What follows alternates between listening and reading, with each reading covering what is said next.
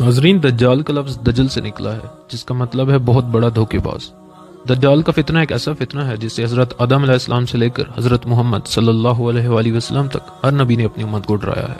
آپ صلی اللہ علیہ وآلہ وسلم کا ارشاد ہے کہ تم میں سے جو شخص بھی دجال کو دیکھے، اگر وہ سورہ کاف کی ابتدائی آیات پڑھ لے، تو اس کے فتنے سے محفوظ رہے گا۔ ویڈیو کے آغاز سے پہلے تمام ناظرین سے گزارش ہے، اگر آپ نے ہمارے چینل کو سبسکرائب نہیں کیا، تو ہمارے چینل کو سبسکرائب کریں۔ اور ساتھ میں موجود بیل آئیکن کو پریس کریں تاکہ ہر نئی آنے والی ویڈیو آپ تک پہنچ سکے۔ ناظرین، دجال کا تعلق یہودیوں سے ہوگا۔ وہ جوان ہوگا، اس کی رنگت سرخ یا گندمی مائل ہوگی۔ اس کے بال حبشیوں کی طرح سخت گھنگرے والے ہوں گے۔ اس کی ناک چونچ کی طرح نوکدار ہوگی۔ اس کا کٹ ٹھگنا ہوگا، بائیں آنکھ سے کانا ہوگا اور دائیں آنکھ میں انگور کی طرح کا دانا ہوگا۔ وہ عراق اور شام کے درمیانی راستے سے نمودار ہوگا۔ اس کے ماتھے پر کاف، الف، فے رے لکھا ہوگا۔ جس کو ہر مسلمان بآسانی پڑھ سکے گا۔ شروع شروع میں اصلاح اور ایمان کا دعویٰ کرے گا، لیکن جیسے ہی تھوڑے لوگ اس سے متاثر ہوں گے، تو وہ نبوت اور پھر خدائی کا دعویٰ کر دے گا۔ وہ ایک گدھا نما سواری پر سوار ہوگا۔ اس کی سواری اس قدر بڑی ہوگی کہ اس کے دونوں کانوں کے درمیان چالیس گز کا فاصلہ ہوگا۔ اس کا ایک قدم تا حد نگاہ مسافت طے کرے گا۔ اس کی رفتار بارش جتنی تیز ہوگی اور ہوا اسے ہانک رہی ہوگی۔ دجال بہت بڑا قذاب اور پرلے درجے کا شبدہ باز ہوگا۔ پانی کی نہریں اور غلوں کے ڈھیر اس کے پاس ہوں گے۔ زمین سے سارے خزانے نکل کر شہد کی مکھیوں کی مانند اس کے ساتھ ہو لیں گے۔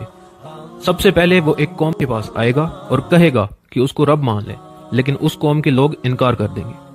وہ وہاں سے چلا جائے گا۔ اگلی صبح جب اس قوم کے لوگ اٹھیں گے، تو ان میں ایک وبا پھیل چکی ہوگی، جو قبیلہ دجال پر ایمان لائے گا۔ دجال اس پر بارش برسائے گا، جس کی وجہ سے درختوں پر پھلوں کی بھرمار ہو جائے گی۔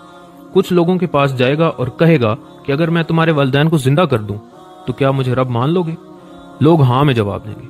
دجال کے شیطان ان لوگوں کے ماں اور باپوں کی شکل اختیار کر لیں گے۔ نتیجتاً بہت سے لوگ ایمان گواہ بیٹھیں گے۔ وہ دنیا کے کونے کونے کا سفر کرے گا۔ تمام دشمنان اسلام، خصوصاً یہودی، اس کی پشت پناہی کر رہے ہوں گے۔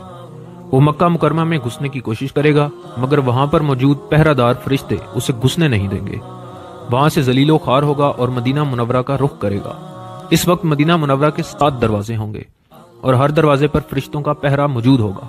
وہ مدینہ منورہ سے بھی زلیل و رسوا ہو کر لوٹے گا۔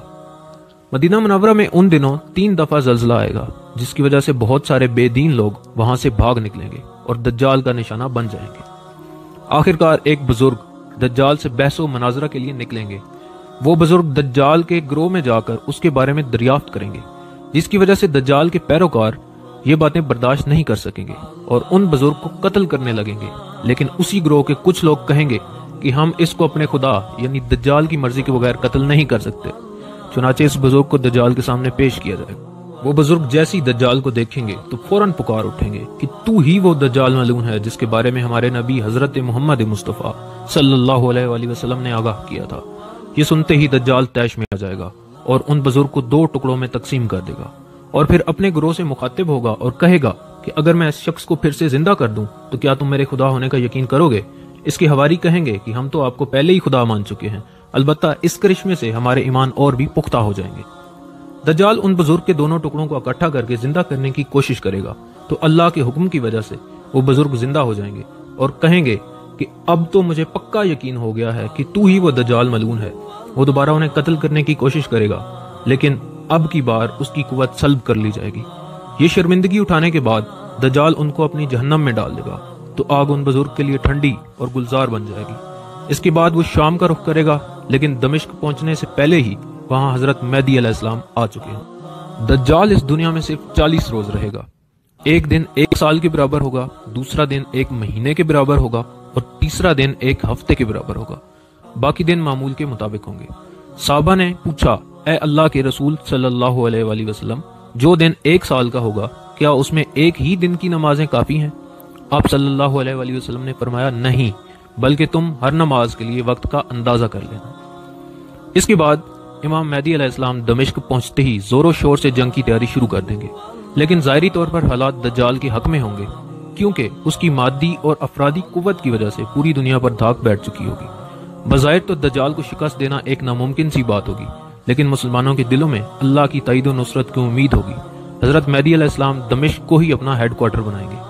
ایک دن حضرت مہدی علیہ السلام نماز کے لیے مسلح کی طرف بڑھیں گے تو این اسی وقت حضرت عیسیٰ بن مریم علیہ السلام کا نزول ہوگا۔ وہ ہلکے زرد رنگ کی دو چادروں میں ہوں گے۔ جال جب حضرت عیسیٰ علیہ السلام کو دیکھے گا تو ایسا گھلنے لگے گا جیسا کہ پانی میں نمک گھل جاتا ہے۔ حضرت عیسیٰ علیہ السلام آگے بڑھ کر اس کو قتل کر دیں گے۔ اس کے بعد یہودی ہر جگہ چھپنے کی کوشش کریں گے، لیکن ہر درخت اور ہر پتھر خود پکارے گا کہ اے روح اللہ، میرے پیچھے یہودی چھپا ہے۔ حضرت عیسیٰ سلیب کو ختم کر دیں گے، اس کے بعد جنگ کا خاتمہ ہو جائے گا۔ اس وقت مال و دولت کی فراوانی ہو جائے گی، لیکن کوئی بھی دولت کے پیچھے نہیں بھاگے گا، بلکہ ان کے نزدیک ایک سجدہ زیادہ قیمتی ہوگا۔ دعا ہے کہ اللہ ہم سب کو دجال کے فتنے سے محفوظ رکھے، آمین۔ امید ہے آپ کو ہماری ویڈیو پسند آئی ہوگی۔ کمنٹ سیکشن میں اپنی رائے کا اظہار ضرور کیجیے گا۔ اس طرح کی معلوماتی ویڈیوز کے لیے دیکھتے رہیے علمی ورلڈ۔